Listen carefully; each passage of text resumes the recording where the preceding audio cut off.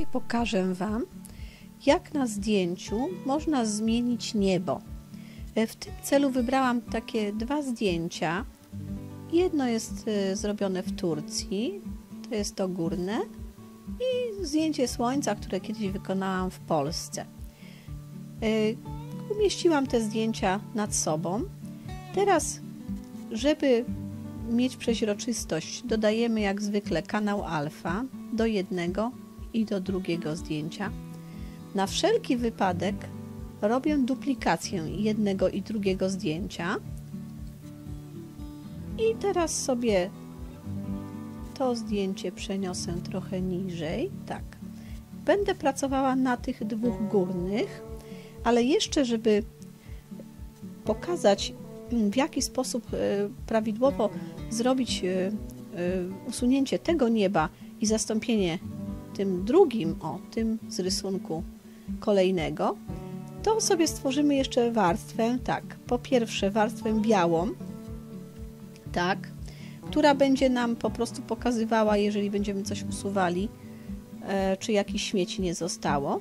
I stworzę sobie jeszcze jedną warstwę, warstwę przeźroczystą, ok. I teraz tę warstwę przeźroczystą zaznaczę kolorem czarnym. Wybiorę sobie z narzędzi kubełek i wypełnienie kubełkiem na czarno. OK.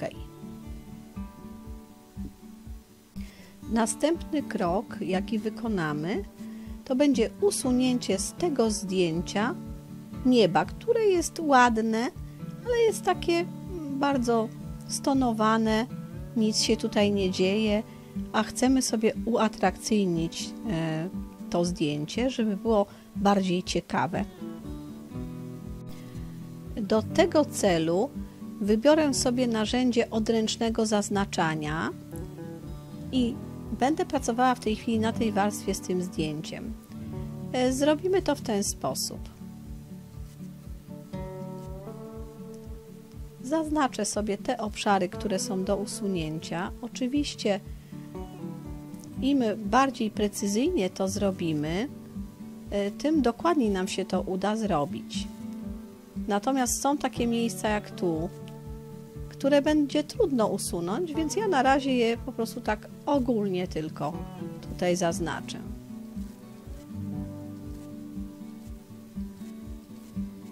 No i też chodzi nam o to, żeby ta wieża również została, mm, żeby ona nie była naruszona, bo ona będzie mm, potrzebna do tego zdjęcia, które będzie już potem finalne.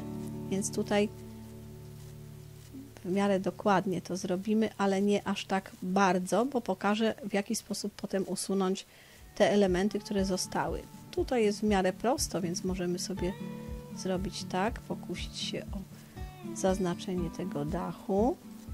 Tak, tu też. Oczywiście, jeżeli niebo będzie potem niebieskie, to nie będzie aż tak bardzo widać. Jeżeli byśmy zmieniali kolor nieba, no to wtedy może być tak, że te elementy źle zaznaczone będą źle widoczne. I teraz tak, obwodzę to zdjęcie górnie, dochodzę do punktu, z którego wyszłam i naciskam klawisz del i mam to o co chodzi, czyli usunięte niebo z tego naszego zdjęcia. Teraz musimy wykonać kolejny krok. Na razie sobie zrobię tak, przejdę na zaznaczanie brak i widzę, że tutaj mi zostały różne elementy niebieskiego koloru, który jest niepotrzebny. Chciałabym ten kolor stąd usunąć. Mogę użyć do jego usunięcia tego narzędzia różdżka. Zaznaczam sobie różdżkę, zaznaczam różdżką obszar, który jest niebieski i wrzucam del. Żeby dokładnie widzieć, czy nam się to usunęło, to mogę sobie, po to stworzyłam te tła, mogę sobie to czarne tło tutaj w tej chwili podłożyć. Oczywiście pracuję na górnej warstwie. I teraz kolejny różdżka, zaznaczam ten obszar, del i mam usunięte te elementy. Teraz kolejny obszar, del i też mam usunięte. Tu będzie trudniej przy tym drzewku, ale też można sobie poradzić. Spróbujemy to w ten sposób usunąć. Może pokażę to też na powiększeniu, powiedzmy na 50%. Zaznaczam ten obszar i tu, gdzie jest jednolity kolor, to różdżka nam ten obszar zaznacza. Teraz przesuniemy się na tę część, bo tu jeszcze coś zostało. Tu jeszcze jak widać są elementy tego niebieskiego, więc też to usuniemy. I generalnie jeszcze w tym miejscu. I tutaj też. Najtrudniej będzie usunąć te elementy przy tym drzewku.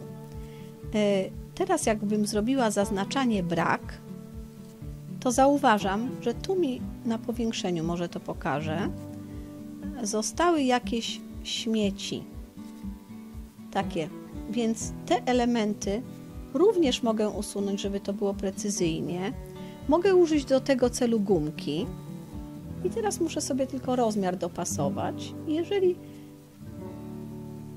usunę te drobiazgi gumką, no to oczywiście mogę to precyzyjnie dosyć zrobić. Tu widać, że też coś nie wyszło. Jeżeli chcę jeszcze bardziej precyzyjnie, to mogę użyć lassa, zrobić jeszcze większe powiększenie.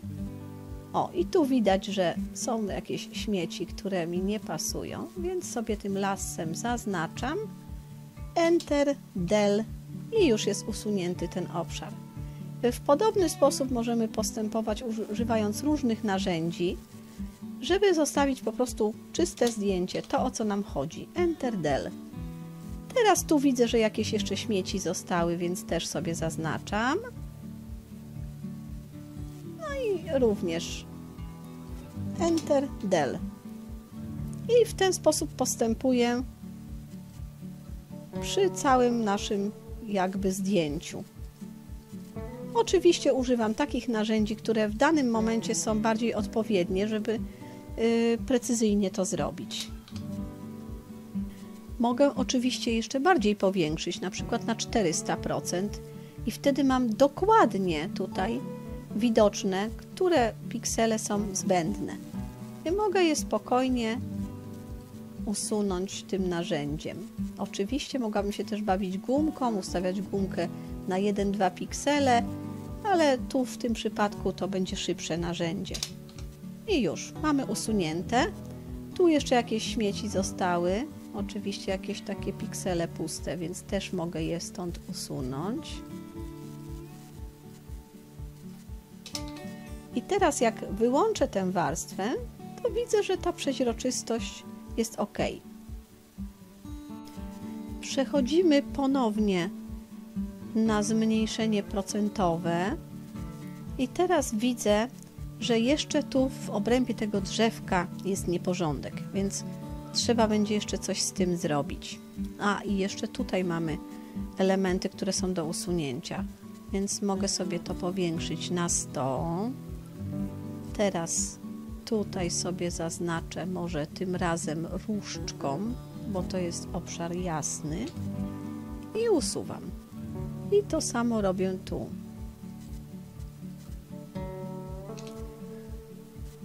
na czarnym tle będzie to widoczne najlepiej. O. Tutaj te białe elementy również można usunąć.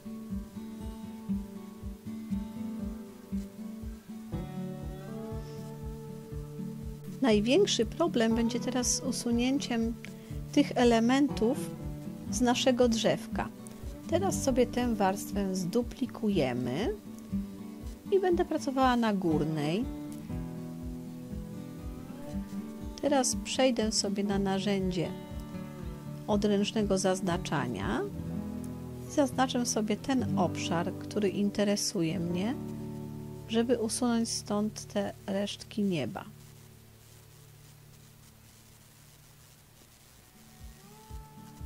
Zrobię to w ten sposób, tak.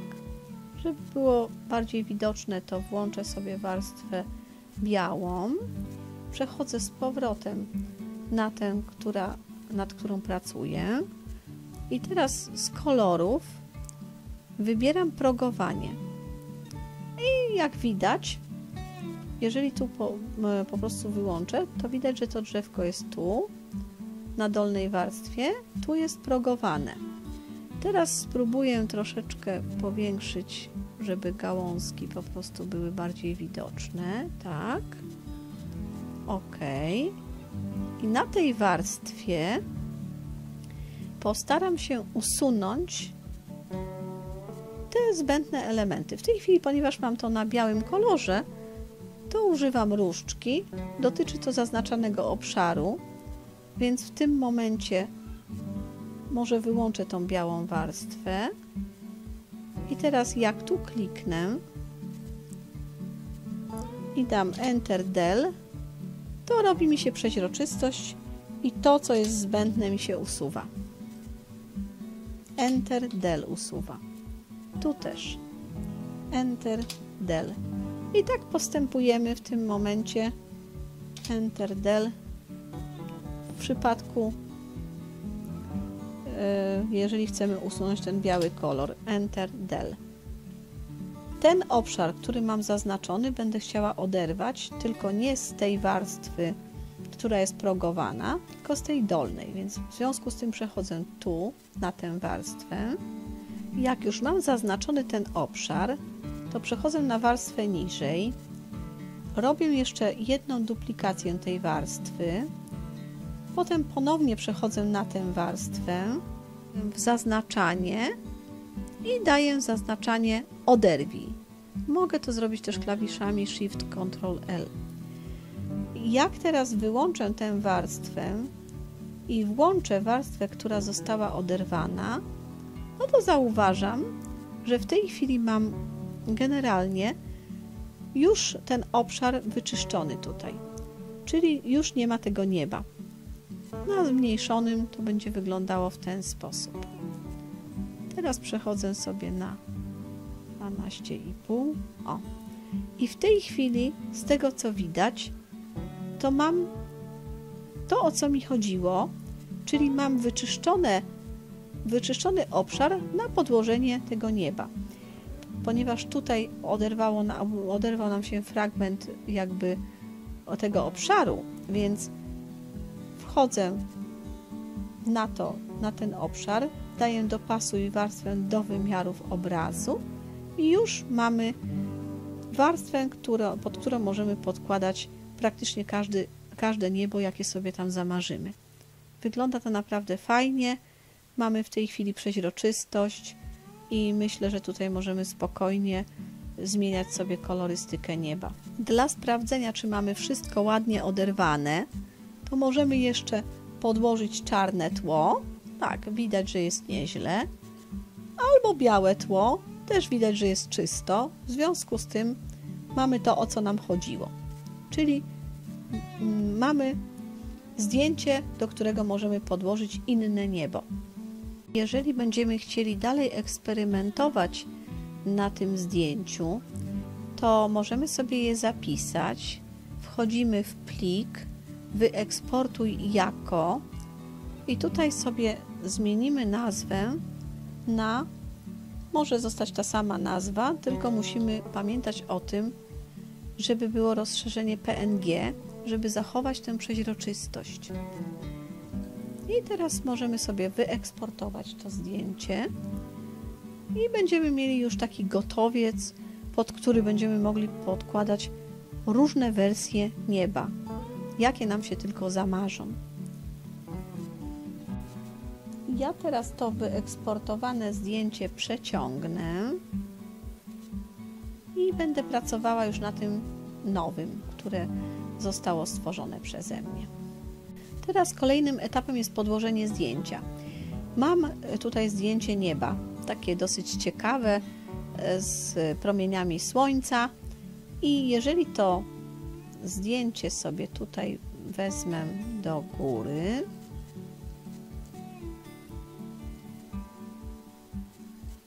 na samej górze mam to właściwe i teraz włączę sobie tę warstwę, które, którą przygotowałam No proszę zobaczyć. Wyszło po prostu genialnie. Wygląda jakby było oryginalne zdjęcie. Jeżeli chcemy dopracować szczegóły, żeby tutaj mm, nie było widać jakichś uchybień, no to oczywiście możemy dalej jeszcze nad tym zdjęciem pracować, ale generalnie efekt wyszedł rewelacyjny. Możemy sobie to zdjęcie wyeksportować i mamy już zupełnie inną kategorię.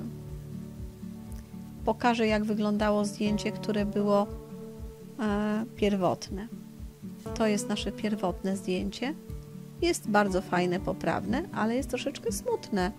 Natomiast jak tu dodaliśmy to niebo, no to wygląda rewelacyjnie. Pamiętajmy o tym, że jeżeli chcemy je zachować, to musimy je wyeksportować jako i zapisać jako JPG.